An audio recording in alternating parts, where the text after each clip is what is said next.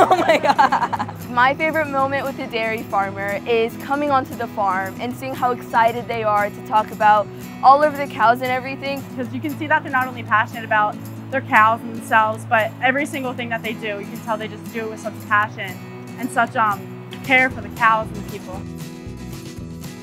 It helped me learn that there's an actual process and that there's many things that they have to do. I've never realized how much goes into running a place this big. Um, they spend hours on end, they wake up four in the morning and they don't go to bed till late, late at night. And it's all because of these cows and how much they care and how appreciative they are of these cows.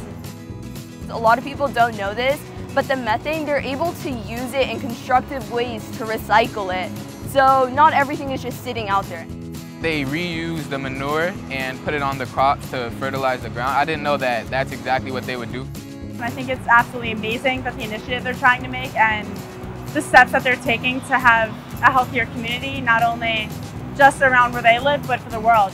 And a lot of people don't know that, and I feel like that's a big thing that needs to be educated more. I usually thought that farmers were just, oh, we live on a farm, you know, we milk cows. It's just beautiful to see how passionate they are about what they do. I don't think I've ever met a group of more hardworking people.